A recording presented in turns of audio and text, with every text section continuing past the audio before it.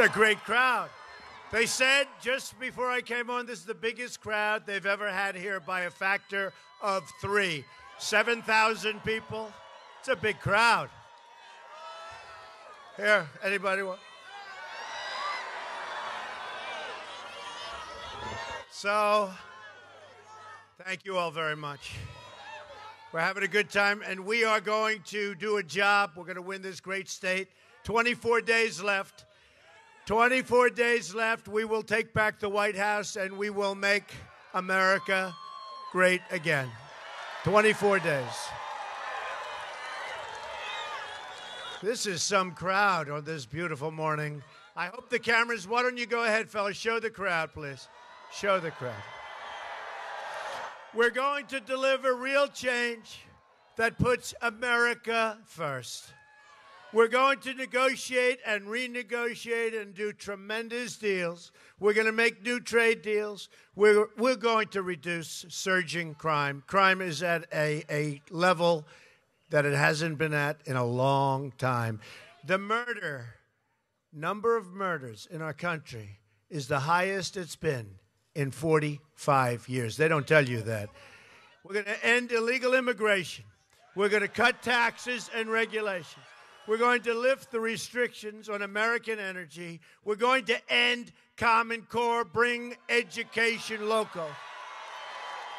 We're going to reduce the cost of college, make child care more affordable, and repeal and replace the disaster commonly known as Obamacare. Your jobs will come back under a Trump administration. Your incomes will go up under a Trump administration. Your taxes will go way, way down under a Trump administration. And crooked Hillary is going to lift your taxes substantially. Your companies won't be leaving our country under a Trump administration.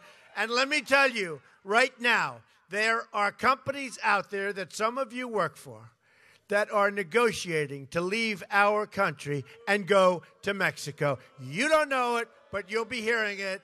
But don't worry about it because if I become president, they're not moving. They're not moving. We're going to be a rich country again. We're going to end government corruption. Hillary Clinton is the most corrupt person ever to seek the office, and you know this. You know this. You know this.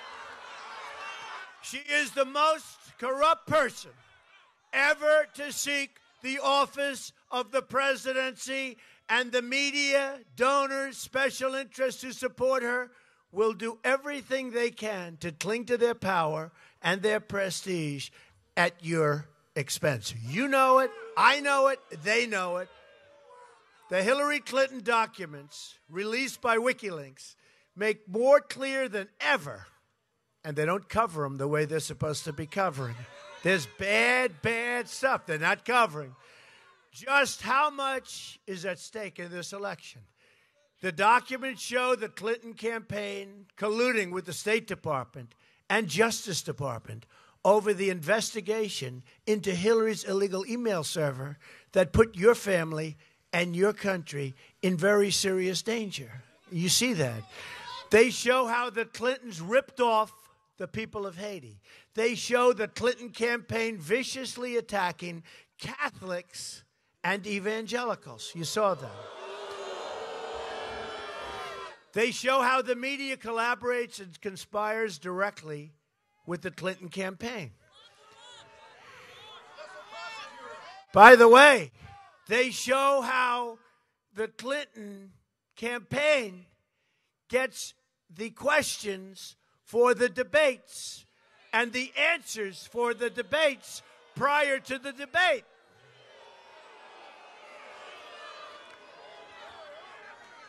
And we still beat her easily in that debate. Can you believe that she got the questions and answers prior to, I guess, a Bernie debate? And you don't even hear about it. Can you imagine if I got the questions to a debate? It would be the biggest story worldwide. You must immediately resign from the campaign. You don't even hear about it. She got the questions before a debate. To cover up her crimes, Hillary Clinton deleted 33,000 emails after, remember, not before, that would have been bad. After, after a congressional subpoena. So she gets a subpoena. She said, We got problems. Delete all the emails, get rid of them. And she acid washed them. She lied to Congress under oath. She made 13 iPhones disappear, some with a hammer.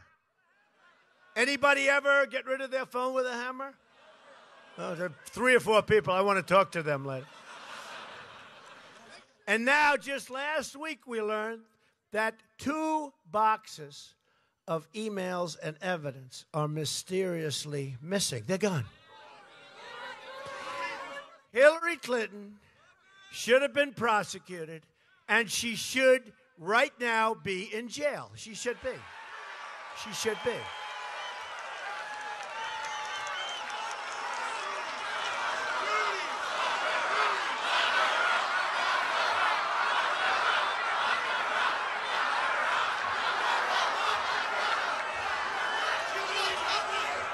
The FBI and the Department of Justice created a fraud in allowing Hillary Clinton to get away with her terrible crimes.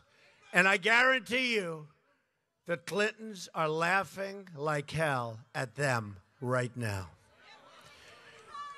The director's performance in Congress, coupled with Bill Clinton's clandestine meeting on the tarmac with the Attorney General in her airplane just prior to decision time on Hillary Clinton's future, supposedly talking about golf and grandchildren for 39 minutes. Secret meeting, secret meeting.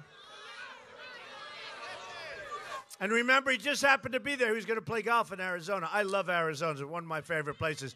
But at that particular time of the year, it was like, what, 110 degrees out, right? And he wasn't seen playing golf that day after the. I guess he decided to cancel his golf. Now, just happened to be, oh, look, there's the Attorney General's plane. Maybe I'll hop on, give my regards to the Attorney General. Folks, there's never been a situation like this in the history of our country. It's the lowest point in those departments' history. FBI people who are phenomenal people must be spinning at what's going on with the FBI. Spinning. Instead of being held accountable, Hillary is running for president in what looks like a rigged election. Okay? It looks to me like a rigged election. The election is being rigged by corrupt media pushing completely false allegations and outright lies in an effort to elect her president.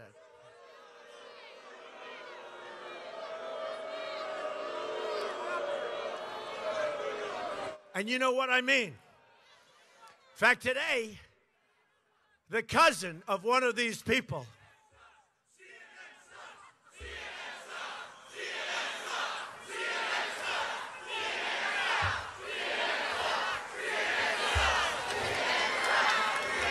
fact, today, the cousin of one of these people, very close to her, wrote a letter that what she said is a lie. That she was a huge fan of Donald Trump. That she invited Donald Trump to a restaurant to have dinner. Which, by the way, I didn't go to. Didn't even know who the heck we we're talking about here.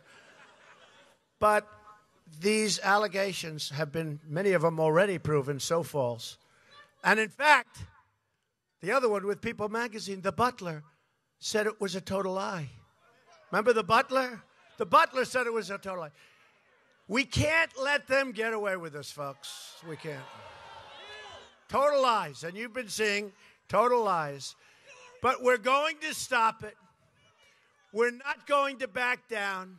And remember this it's a rigged election because you have phony people coming up with phony allegations with no witnesses whatsoever ending up from 20 years ago, 30 years ago?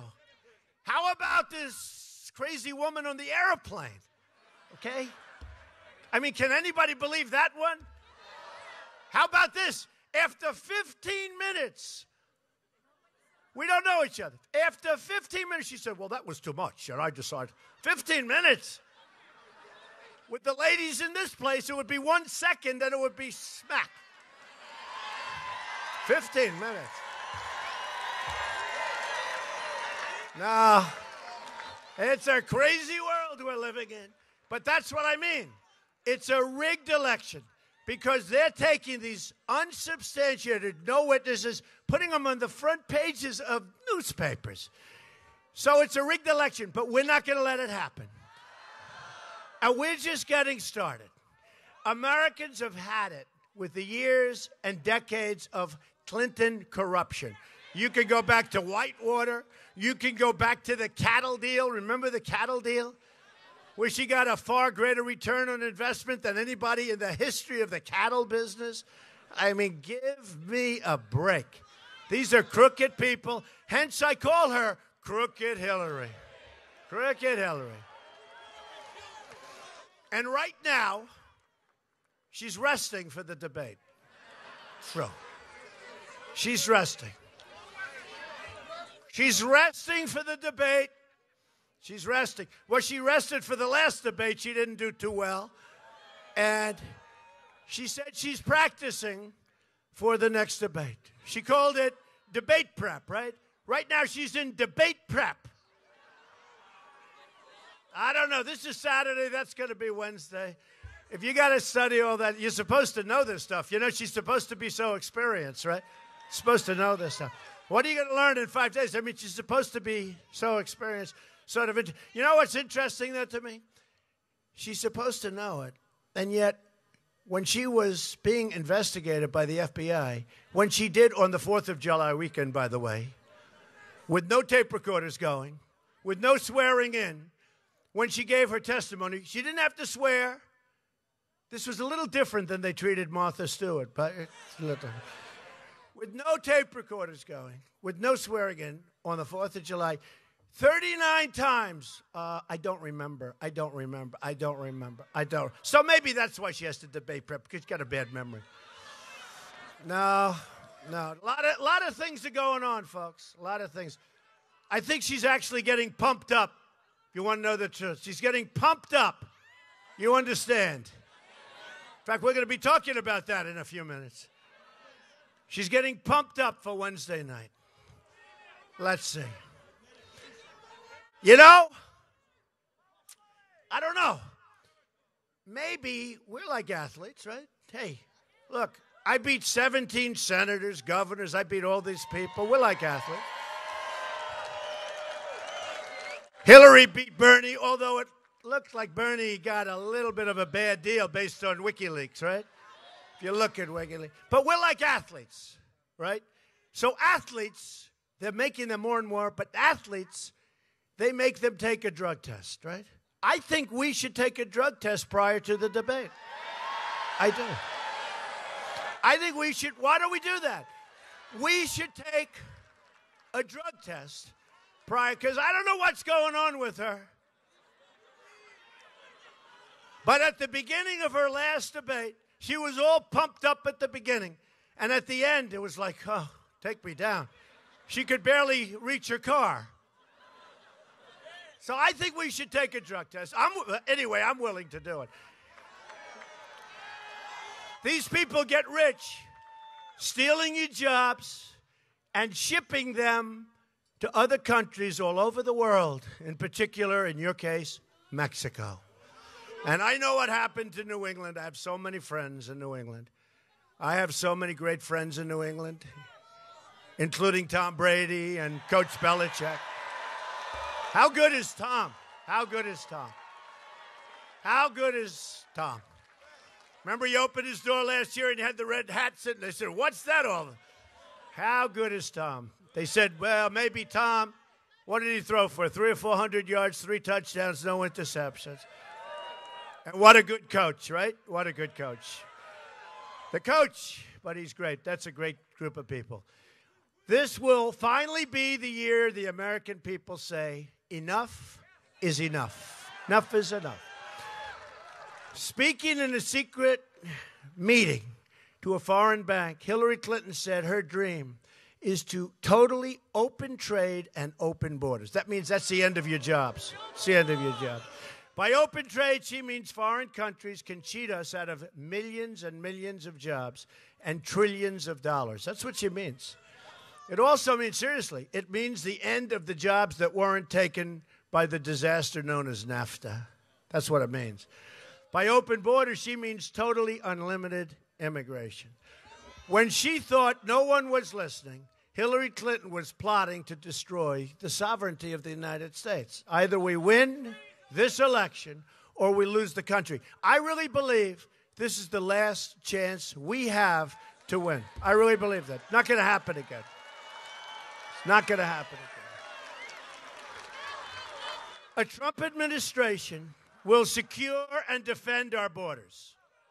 And yes, we will build a wall.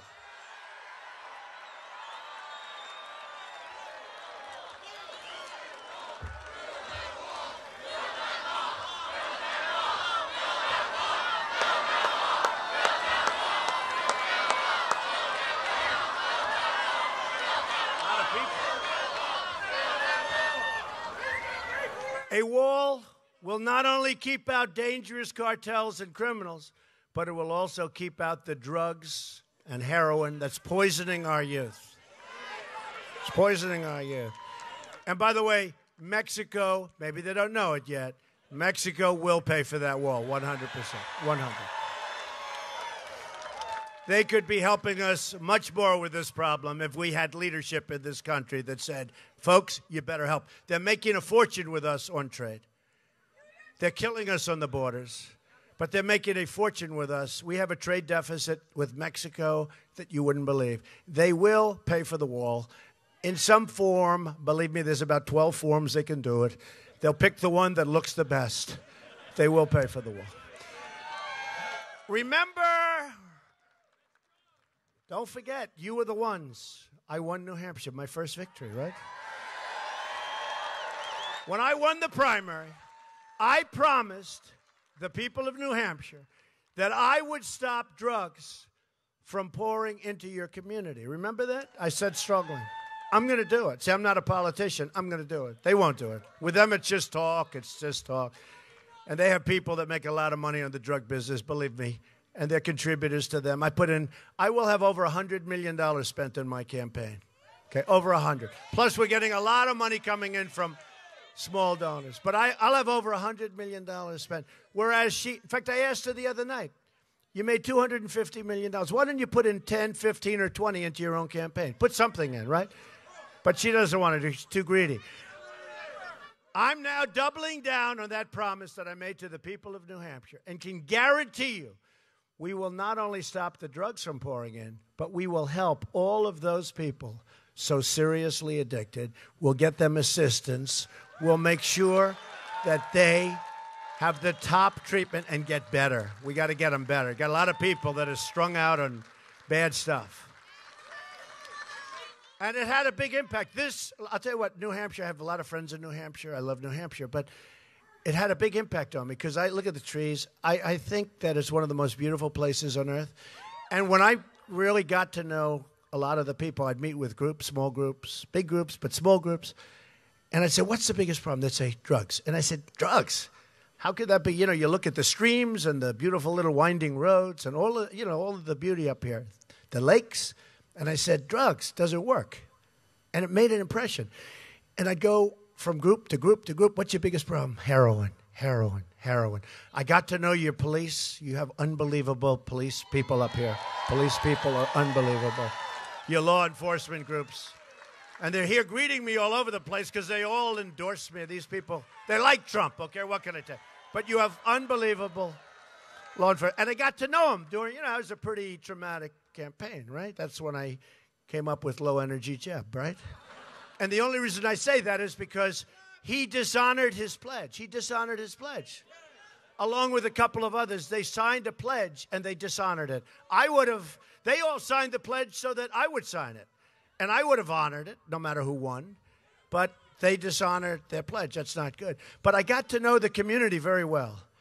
And I will tell you, will, will they ever forget, right? hey, look, it was a rough campaign.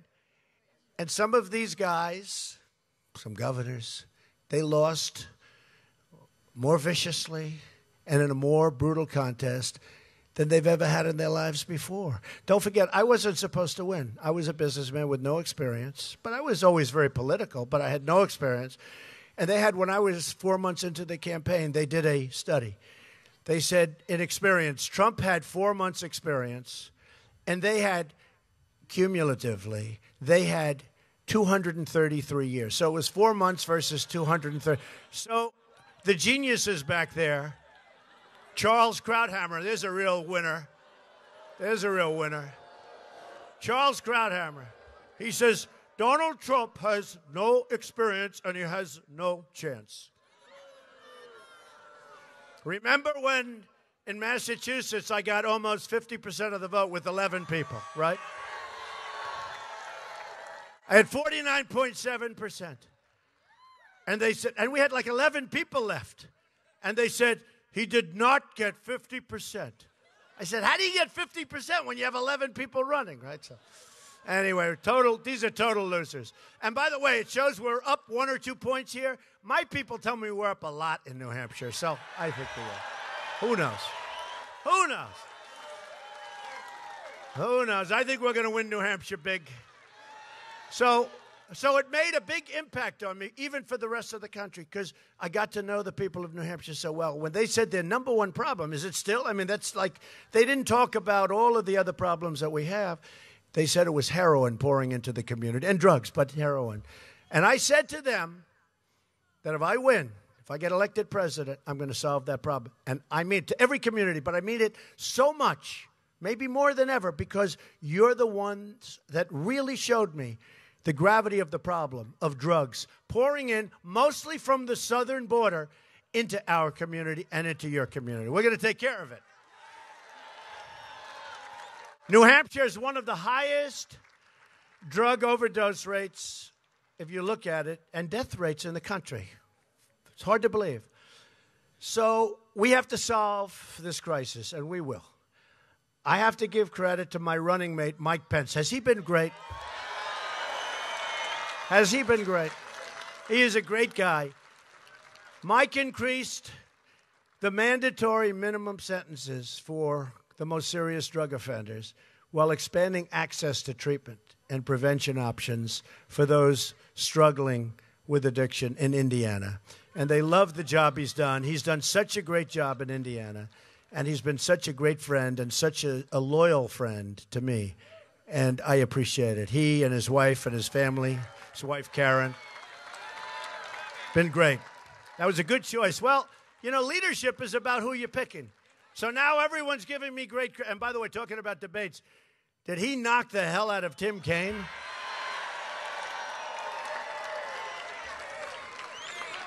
That was like the New England Patriots playing my high school football team, okay? We must make similar efforts a priority for our nation. That's what we have to do for our nation. Not too long ago, we read about Christopher Honor and Courtney Griffin, a young Rockingham couple, and this was a, a beautiful couple, just a beautiful couple, who died of an overdose within a year of each other. Their story of prescription drugs, heroin, wait times for treatment, and missed opportunity in the court system are a tragic reminder of why we need to plan to end the opioid epidemic. We have we have such an epidemic. We have such an epidemic in this country, and people don't know it. And the people that do know it, sometimes it's too late, and we have to end this epidemic. First, we will stop the flow of illegal drugs into our country. The number of heroin seizures on the border has tripled, but it's got to go much, much higher. That's a tiny fraction of what's coming in. I've received the first ever endorsement of our Border Patrol agents, and just last week, our ICE officers. And these are great people, by the way. These are people that want to do the job and they're not being allowed to do their job for economic reasons. And under a Trump administration, we will work with them to end the flow of drugs across our border. And when they gave me the endorsement, I asked them, How important is a wall? They said, Mr. Trump, it's so important you have no idea. And that, that made me feel good. That made me feel good because we need it. We're also going to put an end to sanctuary cities which refuse to turn over illegal immigrants and refused to turn over drug traffickers for deportation. We will dismantle the and you know we have to do this. We have to dismantle the illegal immigrant cartels and violent gangs, and we will send them swiftly out of our country back to their countries, and they're not coming back in. And if you remember Hillary Clinton, when we brought killers, drug dealers, gang members back to countries, and intelligently their country said, We're not taking them. They don't want them. We're not taking them. She said, Oh, bring them back. That's not going to happen with Trump, believe me. There won't be one case. There won't be one case. In four years or eight years, let's see what happens. There won't be one case where those people are brought to their country and come back into our country. There won't be one. We will aggressively prosecute traffickers of illegal drugs and provide law enforcement and prosecutors with the resources and support they need to properly do their jobs. President Obama, who spends most of his time campaigning for crooked Hillary, this guy spends all his time campaigning. He ought to be working on jobs and lowering taxes. President Obama has commuted the sentences of record numbers of high level drug traffickers. Can you believe this? Many of them kingpins and violent armed traffickers with extensive criminal histories and records. I mean, the whole thing is, the whole, honestly, the whole thing is unbelievable. And why I'm like not winning, you know, she said, why aren't I winning? She's not winning because she everything she touches is terrible. But in New Hampshire, why aren't I up through the roof? This is crazy. Hillary Clinton, now when you look at what they've done, when you look at her, let's look at her. Everything she touches turns bad. Her foreign policy is a disaster. Her views on the border are a disaster. She wants to have everybody flow into the country. She wants Syrian refugees to pour into our country. We have no idea who they are, where they come from.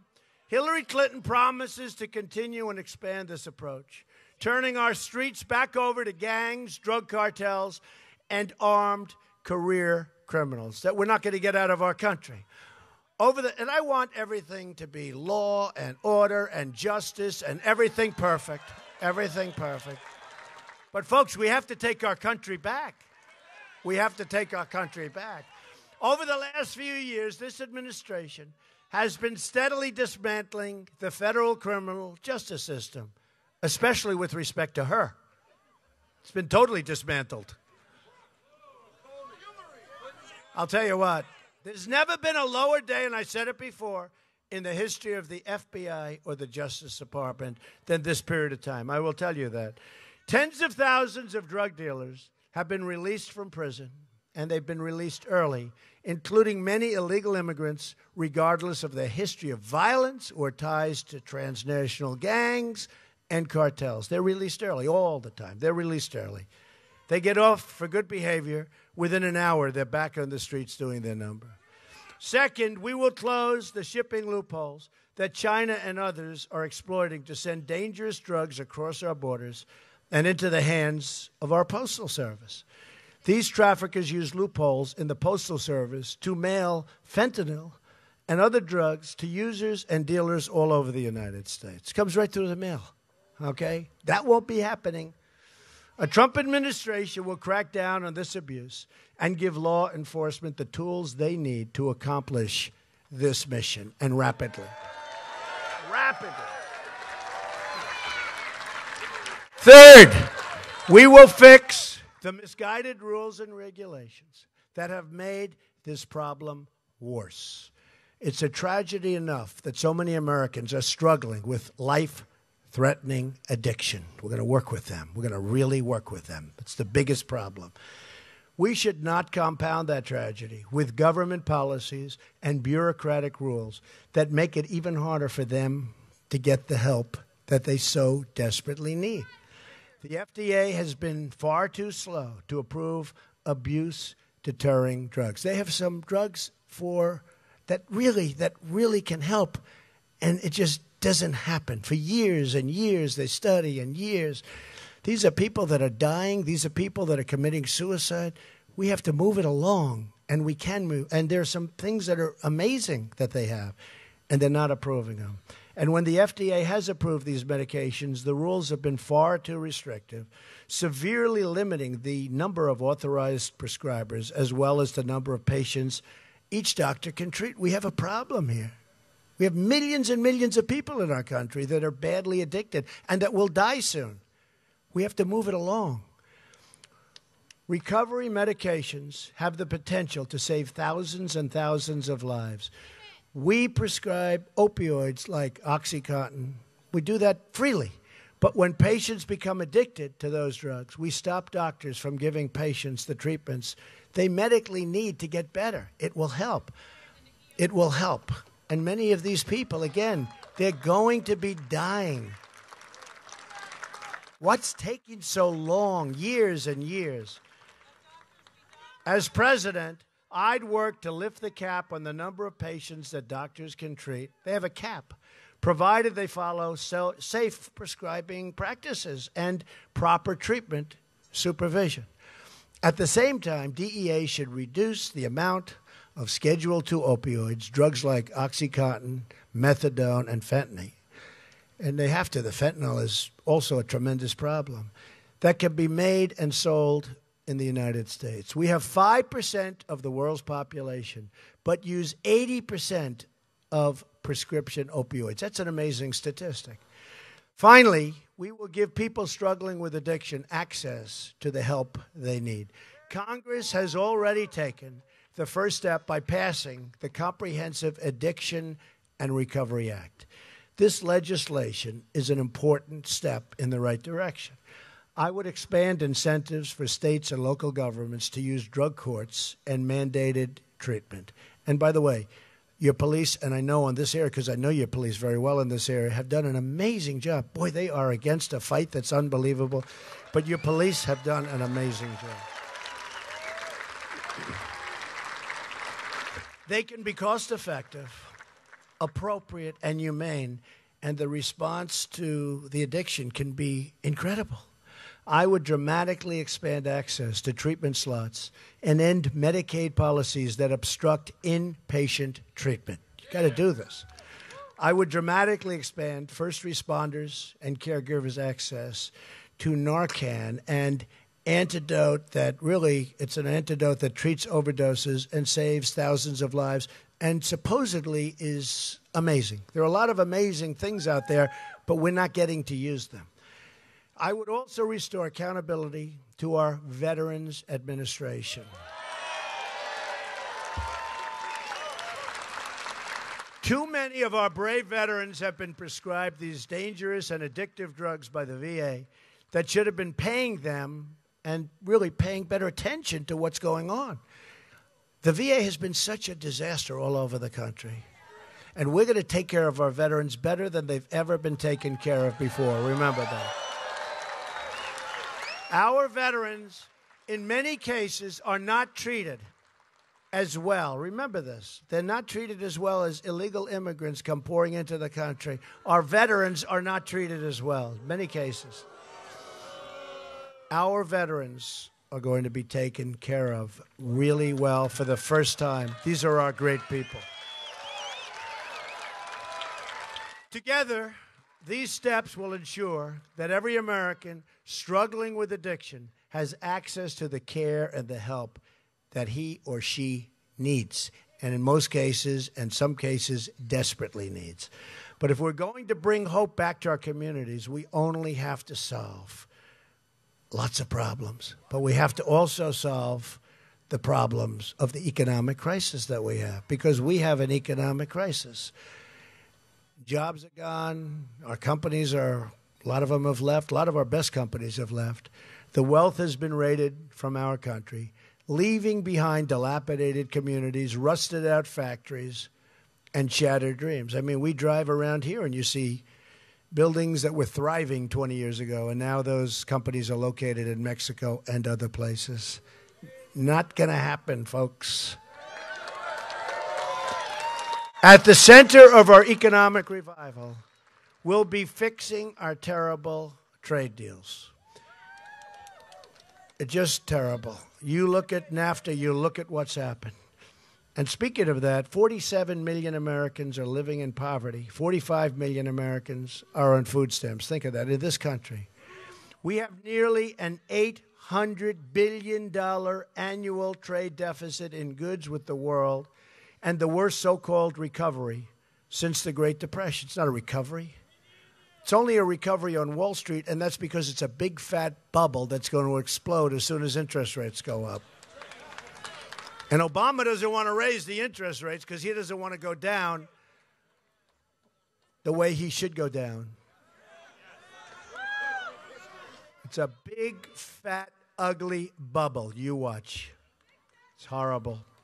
Horrible that he's been able to get away with this. And he's doubled the debt during his relatively short tenure. Over the life of our country, in what will be eight years, he will have doubled the debt to 20 trillion, from 10 trillion to 20 trillion. And we, and you know what? And we didn't do anything. What did we do? We didn't build our roads. We didn't build our hospitals. We didn't build our tunnels, our bridges. I mean, the place is a mess. You know, it's one thing if it's tippy top, the roads are good, this, and we have debt. But we, we haven't even started yet. Our airports are a laughing stock all over the world. This is the legacy of Obama Clinton. The state of New Hampshire has lost nearly one in three manufacturing jobs since NAFTA signed by Bill Clinton and very strongly supported by Crooked Hillary. Since China entered the World Trade Organization, another bill Hillary backed, and this is a Bill Clinton deal also. And listen to this because I thought this has to be a mistake. I said, no, no, it can't be 70. It has to be like maybe 700. 70,000 factories have shut down or left the United States. 70,000. Millions of jobs. 70,000. I went back to my people. I said, Do me a favor, you made a typo. Can't be 70,000 factories. 70,000. It was right. Wasn't sadly it wasn't a typo. That's 15 factories a day closing on average. 15 a day. Tells you it's a big country. But 15 factories. We're living through the greatest jobs theft in the history of the world. Never in the history of the world has there been a theft of jobs like what other countries have done to the United States. And by the way, your area here, just about the top of the line. You understand that. she goes, No kidding. They know. You know. Companies like Carrier, General Electric, Motorola, Mattel, Fiat, Chrysler, so many so many, hundreds and hundreds, are moving their jobs to Mexico. And I'm telling you, right now, companies are negotiating from this area to move to Mexico. It's not pretty. Won't happen if I'm, if I'm elected. Not going to happen. Not going to happen because they'll know that if they go to Mexico and they build their product in Mexico and want to sell it into the United States, and they're going to fire all these people from whether it's New Hampshire or anywhere else, I was in North Carolina last night, same thing. They're going to pay a 35% tax on that product coming back in, and they're not going to move. They're not going to move. No chance of them moving. And you know what? I've been watching for 10 years our federal government thinking about ways they give them low interest loans, they give them zero interest loans, they do all sorts of things. Doesn't stop. They don't need money. But when you tell them there are consequences to pay when you fire people from this area or any area in the United States. And you think you're going to move to some place and make product and sell it to us? No. See, we're not going to be, folks, we're not going to be the stupid people anymore. We're not going to be the stupid people.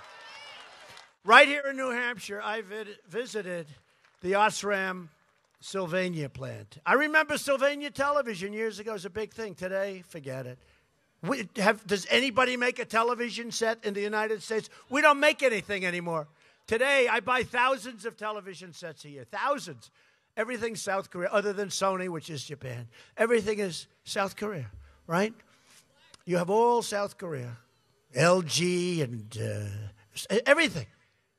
And I get bids. I say, let's try. Can we find somebody in the United Nobody makes them in the United States. I just see the name Sylvania. I haven't seen that name for a long time. But you know it because they moved. That closed its doors in 2014 and shipped its jobs to China and Mexico, meaning your jobs didn't go, meaning your business went to China and Mexico. Your jobs are gone. They're gone. If I win day one, we are going to announce our plans to totally renegotiate NAFTA. If we don't get the deal we want, we'll leave NAFTA and start over again, and we will make much better trade deals. And we're going to have trade deals, but we're going to have good trade deals. We're going to have trade deals where jobs come into our country. We're going to have two lane highways, not one. Right now, our trade deal, NAFTA, it's, by the way, the worst trade deal ever made in the history of the world, not the United States. It's the worst, the dumbest trade deal ever made. Even if you look at the taxing systems are different. They have a VAT system, we have our system. So immediately, and you know, when the deal was made, they made a mistake. That was many years ago. Nobody ever fixed the mistake because they start off with a 16% advantage just because of the way we tax. It's a little complicated, but it doesn't matter. All I'm telling you is they made a mistake. It's a defective deal. That's why. How often do you see deals coming the other way? You never see. It. They're all going to Mexico. I tell the story because it's better than hi- hiring a consultant. Hire a consultant, you pay them a million bucks and they know nothing. Friend of mine builds plants. And I was talking to him. I said, How's business? He said, Unbelievable. I said, Oh, good. That sounds great. Where are you building good? Mexico. I said, Oh, what about the United States? And he's from the United States. He'd rather be saying the United States. I said, Well, how's Mexico doing? He said, Donald, it's the eighth wonder of the world. We're building some of the greatest plants anywhere in the world in Mexico. You have to see. I say, I don't want to see. I don't want to see. You know, Ford is moving there now, and uh, Carrier, and so many companies. He said, We're building some. I said, How about the United States? He goes, Not good. Not good. How stupid are we? How stupid are our leaders? And it's not just stupidity, it's campaign contributions, it's contributions, it's PACs, it's all of this stuff. Even if they know better, and they're not all stupid. A lot of them are, but they're not all stupid. But they won't do it because they have to take care of their donors and their special interests. We're going to well, and, and I tell you this very strongly. To me, one of the most important statements. We are going to start making things again in America.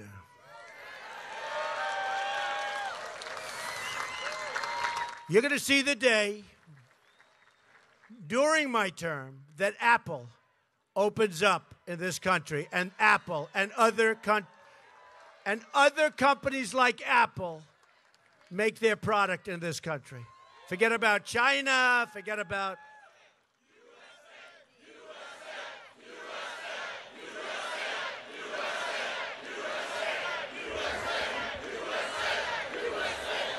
Remember this with me, it's America first. You don't hear that. America first. And we're going to have good relationships with Mexico. We're going to have a great. I met with the president of Mexico two months ago. I'm sure you read about it. It was pretty well. And he's a nice guy. He's a very nice guy. We're going to have a great relationship with Mexico. But we have to explain to Mexico it's a two way street.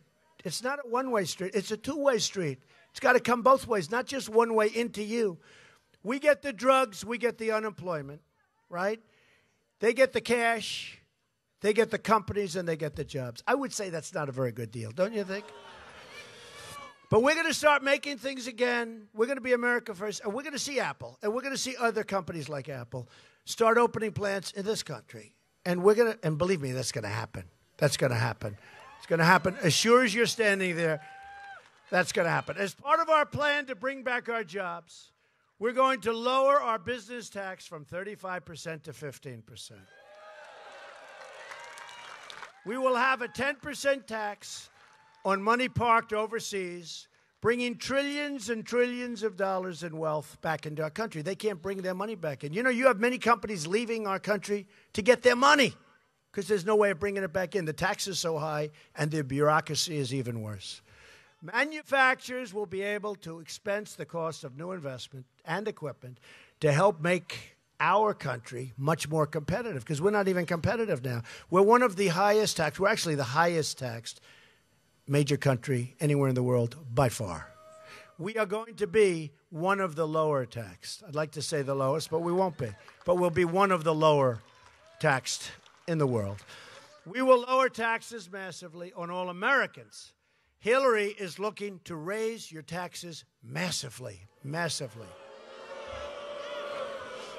We will become the great jobs magnet of the world. Wages will rise, jobs will return.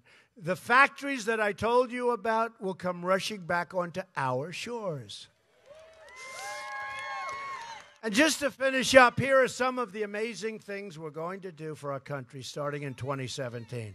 And remember, it only works November 8th. You got to get out, you got to vote. You got to vote.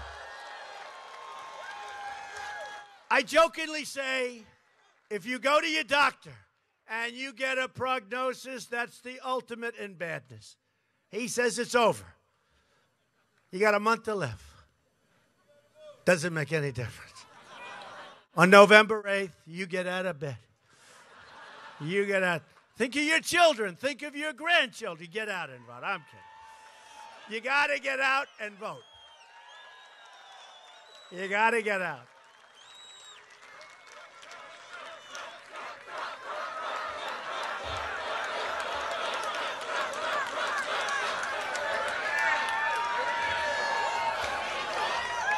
We're going to have the biggest tax cut since Ronald Reagan, and actually, it could be even bigger than that.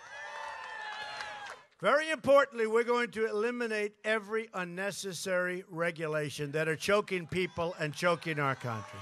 We are going to defend our religious liberty. We're going to reduce the cost of college tuition. We are going to rebuild for our great, great people in the military. We're going to rebuild our depleted military. And we are going to take care of our veterans. We are going to repeal and replace Obamacare. Very important for New Hampshire. This is under siege. We are going to save our Second Amendment. It's under siege. And the NRA, National Rifle Association, endorsed me, the earliest endorsement they've ever given, and they are terrific people. And we're going to appoint justices to the United States Supreme Court who will uphold and defend the Constitution of the United States. You have 24 days to make every dream you ever dreamed for your family, for your country, come true. You have 24 days. And if we don't win, as I said before, if we don't win, I don't think it's ever going to happen again. Our country is going to be in a spiral that won't be stopped. On November 8th, the arrogance of Washington, D.C. will come face to face with the righteous verdict of the American voter. I am going to fight. I am going to fight so hard. Hey, I had a great life. I got the best publicity. I have a great company. I built this incredible company. My life was so wonderful. Now, I'm loving this because we're doing something that's going to be amazing. But we have to pull it off. It's going to be amazing. It's a movement the likes of which they've never seen before. They've never seen. Look at this. Look at this crowd all the way back. It's a movement the likes of which they've never seen before. I am going to fight for every citizen of every background from every stretch of this nation, and I'm going to fight to bring us all together as Americans. Imagine what our country could accomplish if we started working together as one people under one God, saluting one American flag.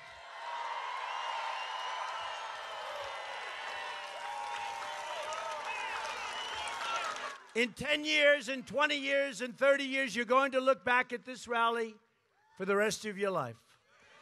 You're going to remember this day. This is a movement like people have never seen in this country before. We're going to make history together. Remember, it's a rigged system, it's a rigged election. We're going to beat the rigged system, we're going to beat the rigged election. You're going to look back at this election and say, This is by far the most important vote I've ever cast for anyone at any time in my life. Once again, we're going to have a government of, by, and for the people. We will make America wealthy again. We will make America strong again. We will make America safe again. And we will make America great again. Thank you, everybody. God bless you. Thank you.